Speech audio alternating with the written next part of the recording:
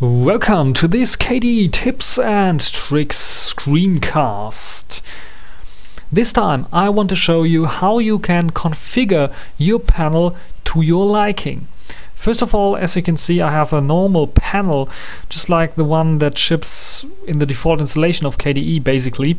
So I have my tray icon here, my tray icons, my, my clock, my, my shutdown or leave button, I have my workspace switcher, I have my activities button, and I have my Kickoff menu button.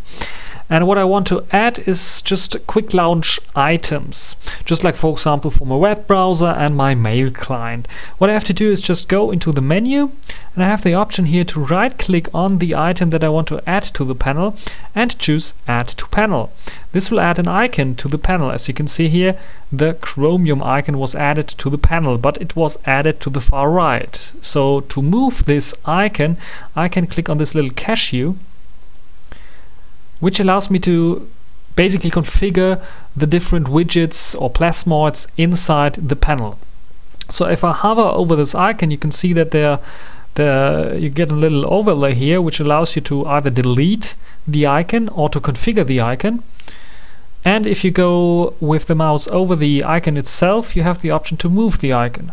So let me just move it to the far left and if this little grayish rectangle pops up you can then just let go and it will stick to this rectangle just like this and now I have added a quick launch item but this can be a little bit nasty, especially if you are configuring uh, lots and lots of quick launch items. Um, just adding them manually is, uh, is not a very good option, especially if you're moving them or if you want to change the panels.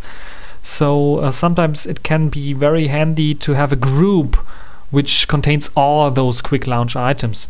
And therefore KDE ships with a quick launch plasmoid which you can just simply add to your panel. So just click, so let me just remove this uh, Chromium web browser. I have other, either the option to, to just click on this cashew and then uh, on this pop-up I can just click the X button to remove it or I can just right click it and say remove this icon and this will remove the icon. What I can now do is just add some widgets.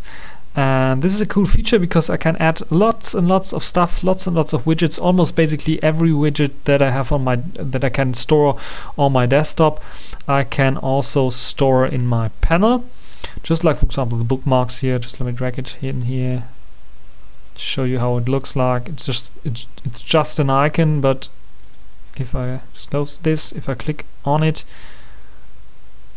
it normally should